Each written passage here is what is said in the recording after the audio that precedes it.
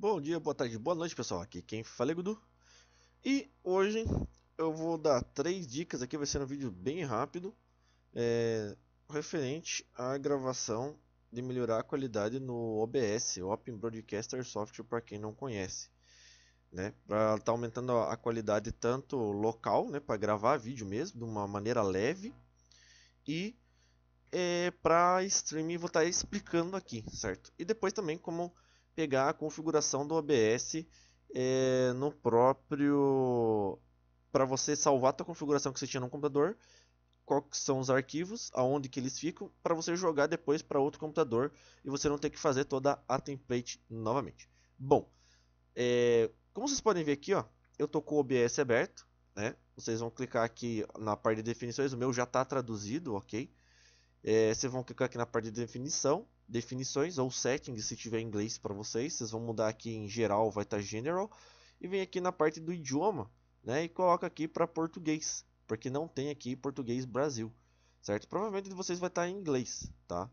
Então é o seguinte, você vai colocar aqui, vai mudar o idioma primeiramente, e depois que você mudar o idioma, você vai clicar aqui em definições de, de, de codificação e vai deixar exatamente do mesmo jeito que eu estou deixando aqui, ó, tá? Codificador, é, usar o CBR.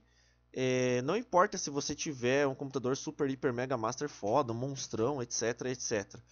O, o, ideal aqui, se tiver muito HD, muito processador, você pode realmente deixar aqui em 800, vai fazer um vídeo super leve e com um bom tempo. Sei lá, você pode gravar, por exemplo, 30 minutos de vídeo e teu vídeo ter ali 500 mega, 800 mega, sabe? Dependendo do que você for gravar, entendeu?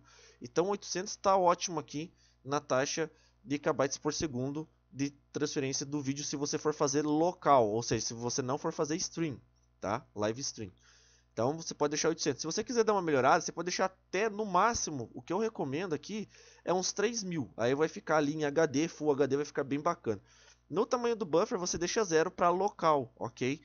Depois eu vou explicar para live stream como é que fica essa configuração, mas a única coisa que vai mudar aqui é que você vai colocar aqui para live stream de 15 mega, você vai colocar aqui 800 e 800.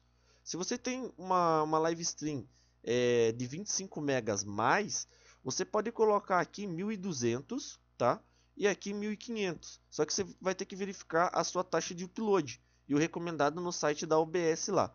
Mas acredito eu que o upload de quem tem 25 MB seja 2 megas e meio. Então 1.500 aqui no tamanho do buffer está excelente, galera. E também aqui 1.500 está excelente também. Ou você pode setar aqui 800 e 800. Porque para quem faz mais live stream, é ter banda suficientemente para você estar tá transmitindo. É...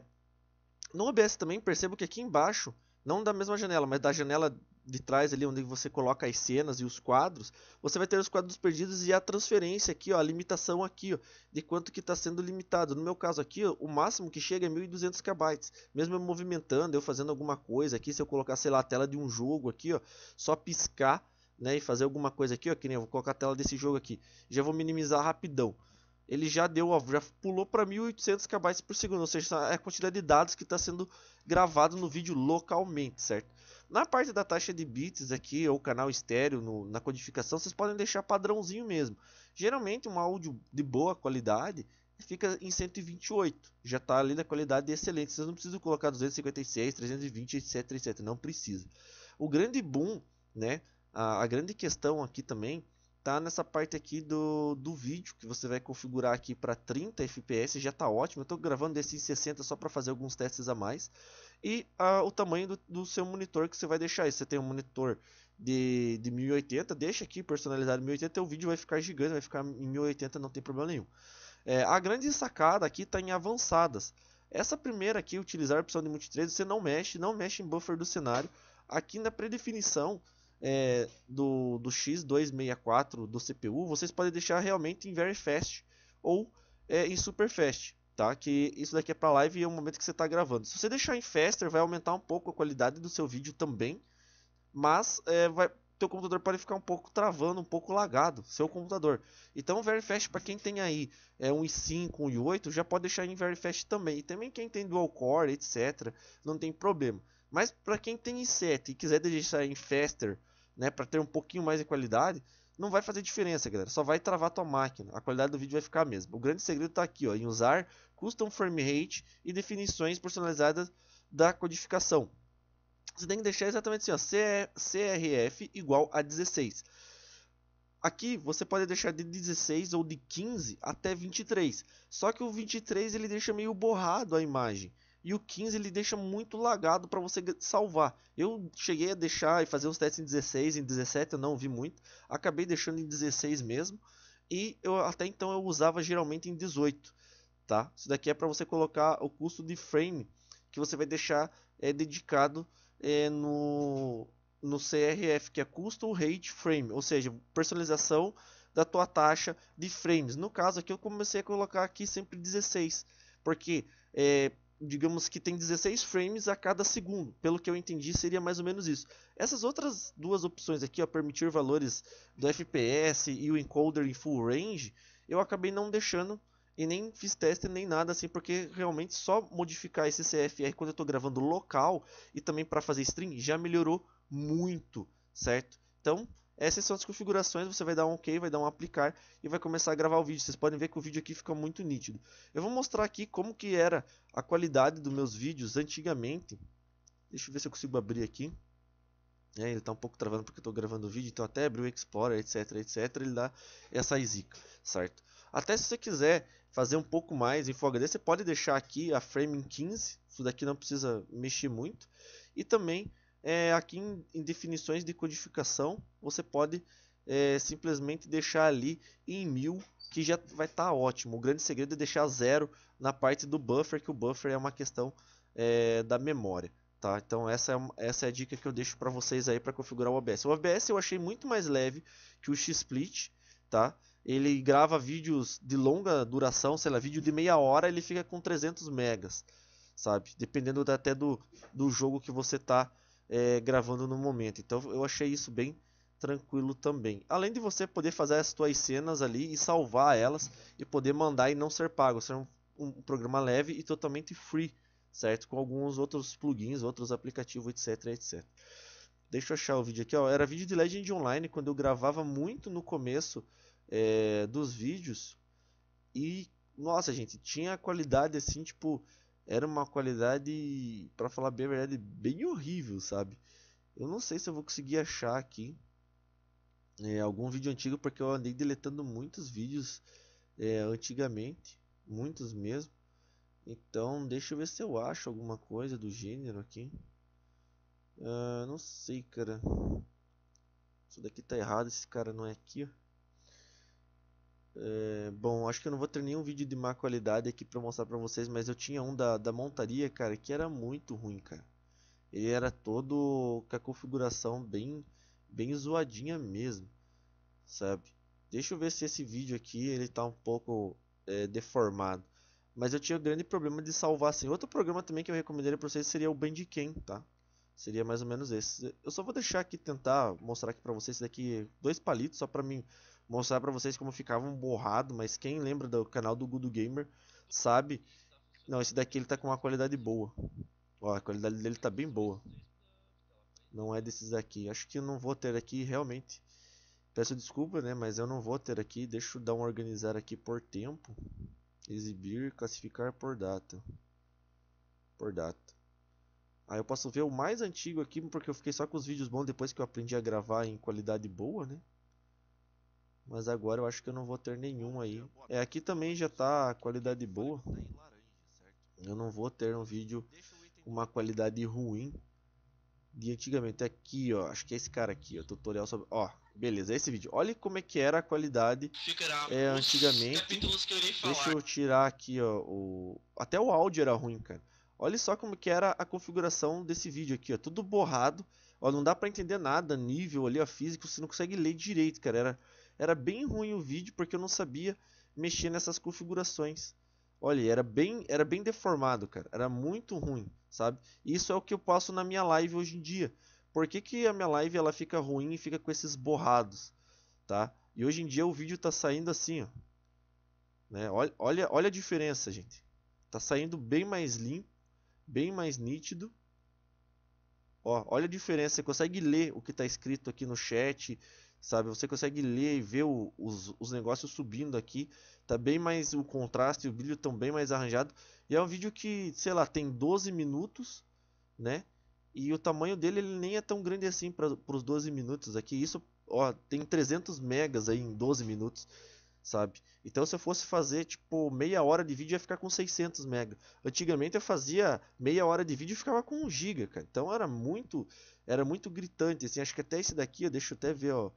Ó, esse daqui tem 27 minutos na qualidade inferior e tem 85 megas, sabe? Então tá bem mais curto que o outro lá, porque a qualidade tá muito inferior mesmo, sabe? Aí tem mais qualidade, né? Mas vocês podem diminuir aqui, vocês podem colocar aqui 300 kbps, que o vídeo de vocês vai ter uma qualidade menor e o tamanho também vai ser menor. Mas aqui, né, é o grande segredo, se você for fazer live stream, você vai ter que colocar o valor aqui igual o outro, e esse daqui ele é mais Burst, só que ele dá um, uma deformação assim antes e dá tipo uns lagzinho. Bom, é, com referência aonde fica salvo é, os dados de vocês, as configurações, eu vou falar agora. Vocês vão ter que acessar aqui o C de vocês, tá? Da máquina de vocês, vão ter que ir na usuários. Aí no meu caso aqui eu sou o usuário Gudu, tá? É, usuário Gudu. Aí aqui em appdata é uma pasta que ela vai estar tá oculta, mas você pode estar tá tentando acessar ela aqui, ó, pela barra de endereço. Você vai colocar aqui appdata, aí vai dar um enter. Aí se eu não me engano aqui é no roaming. Aí aqui você vai procurar OBS, que é a patinha do OBS, e aqui vai ter o profiles, certo? E também aqui Scene Collection, que é esse Scene Xconfig, cara. Então é esse é essa cena, né? Mas o que que eu fiz? Eu simplesmente, como eu não sabia na época é, mexer nisso daqui, questão do update e tudo mais. O que, que eu fiz? Eu fiz alguns testes. Eu simplesmente catei essa ICN config aqui, né? Que eu imaginei que era a configuração das cenas. Sabe o que, que é as cenas, né? Para quem entende aí do, do OBS, galera. As cenas são isso daqui, ó. Cena 1, cena 2 são os cenários, é a fonte que você usa. Eu vou mudar aqui e provavelmente vai estar alterando aí no vídeo. Cada partezinha vai estar ficando escuro, etc. Eu vou ter cada uma aqui para me estar alterando cada tipo de tela. Então, você simplesmente vai achar aí as suas configurações para você salvar e não ter que fazer tudo de novo. às vezes você esqueceu aonde que estava aquela cena, o cenário ou a fonte, né? Então simplesmente você vai falar, ah, cara, eu não sei, eu não lembro de tal. Vocês estão vendo aí ó, que está mudando, porque eu estou clicando aqui em cada cenário nesse exato momento. Tá vendo? Tem cada um é um diferente. Ó. Isso é bem interessante. Vocês estão vendo aí, ó, cada cenário, cada template, né? Que eu montei, cada uma é uma, cara. Então tem para jogo aqui, ó, tem essa daqui que é só que é só a câmera, tem da própria aqui é quando eu ia fazer stream de alguma coisa, tinha um dispositivo ali que eu fazia na hora. E tem a que eu estou usando aqui mais atualzinho, que seria essa daqui. Então eu posso usar aqui as cenas, ó, vocês estão vendo, fica aqui, ó, onde é que eu estou passando o mouse, e ela fica aqui nessa pastinha que é C, dois pontos, barra invertida, users, barra invertida. O teu usuário, sei lá, você pode se chamar André, Paulo, Marcelo, ou admin, administrador, hacker, vírus, barra invertida, né? appdata, barra roaming, barra o OBS, que é a pastinha do OBS que estava aqui. Cara, faz um backup disso daqui e copia principalmente a parte dos plugins até a parte do PD, até essa parte aqui, ó. Mas copia tudo isso daqui ou simplesmente vem no roaming Copia essa pastinha aqui OBS. Eu tenho ela aqui em algum lugar no meu no meu no meu negócio aqui. Eu não vou lembrar agora, acho que está salvo aqui no meu Guild H. Está em algum lugar aqui que provavelmente é aqui OBS moldura, não sei se está aqui. Bom, enfim, eu, eu, sei que eu tenho salvo em algum lugar esse backup é, do meu OBS, simplesmente para mim não perder e para mim levar ele é, para outros lugares. Agora eu não vou lembrar de cabeça aqui onde é que eu joguei, tá? Eu vou ter que dar uma pesquisada aqui mesmo, vou ter que, sei lá, colocar aqui o OBS, mas eu simplesmente consegui é, recuperar, então eu não precisei fazer toda a minha template de novo, todo o meu cenário de todas as minhas fontes quando eu instalei ou formatei a máquina para o Windows 10, tá? É, se tiver alguma compatibilidade, tela preta com relação ao OBS não instalando ou instalando, é, tenta executar ele ou baixar a versão 32 bits, que a 64 deu um problema, executa como modo compatibilidade mesmo no Windows 10. Essa seria outra dica que eu tenho para dar para vocês também. Ó, eu acho que eu não tenho é o backup do OBS, como vocês viram ali. Ó. Isso é uma fatalidade. Eu deveria realmente ter né, o backup do OBS. Eu acho que não tem nem na parte aqui do, do, do desktop aqui. Deveria estar tá aqui em algum lugar, sei lá, programas. né, não tenho. Ó, que perigo, cara. Desculpa aí a tosse. Eu vou aproveitar e já vou fazer um backup é, dessas cenas, mas eu lembro certinho onde é que fica. Então eu tô bem tranquilo quanto a isso. Eu não preciso muito me preocupar. Caramba, me deu uma tosse no final do vídeo. Ai, ai. Bom, acho que é isso que eu tinha para mostrar para vocês hoje de configuração. É, no mais, vocês se virem aí. É só vocês alterarem aqueles valores que eu passei. Dúvidas vocês reinstalam, desinstalam, é, desativam o antivírus, ativam o antivírus, etc, etc, etc. Eu vou lá fazer o backup do, do OBS, né? Vou vir aqui na pastinha aqui, ó, Ctrl C, porque lá dentro do C, do, do C aqui, ela tem a pastinha, né? Você pode até ver que tem vários OBS aqui, ó, tem OBS, opa, tem esse OBS aqui, só que ele salva desse jeito, só locale, shaders e plugin. Ele não tem aqui é, o meu não tem, cara. Aqui, ó, tá como services xconfig, né? Desde 2015, ó. Sabe? Então, é bem complicado, né, não ter não ter esse negócio. E às vezes o meu OBS ele dava problema. Ele instalava, daí desinstalava, daí o x64 bits não funcionava. Cara, era um saco, galera. Era realmente bem complicado. Aqui, ó, service X, mas simplesmente, ó, não tem nada aqui que você possa fazer backup e levar para lá os teus dados. Ele simplesmente vai ficar lá na, aqui na roaming, aqui na OBS e aqui fica teu profile, né? Tem aqui as cenas, ó, e cenas xconfig desde o 25 do do 5 de 2016, ou seja, acabou de ser alterado às 21 e 28 acabou de ser alterada a cena. E é isso que eu tinha para falar para vocês hoje, certo? É até bizarro, né, não ter no, no próprio no próprio negócio aqui as cenas, né? Mas fazer o que? Ó, tudo que se salva geralmente na ppdata é onde vai parar. Ó. icenes.pw blá blá blá, não tem nenhum. Tem só services e não tem as cenas aqui. Ó. E não adianta você nem querer jogar ali que elas não funcionam. A outra pastinha do OBS aqui, ó. Não tenho. Eu até vou acabar jogando aqui. Vou até backup. Vou colocar aqui, ó, backup OBS, nova pasta. Ó, OBS molduras. E não tem mesmo, ó. Estão vendo? Só tá na OBS molduras. Bom, para não fazer o negócio, vou, vou dar um Ctrl V aqui, né, para salvar meu backup, já que está no OBS molduras. a ação não pode ser concluída porque está em aberto. Vou dar só um ignorar aqui, nem sei o que, que é o ficheiro aqui. Bom, enfim.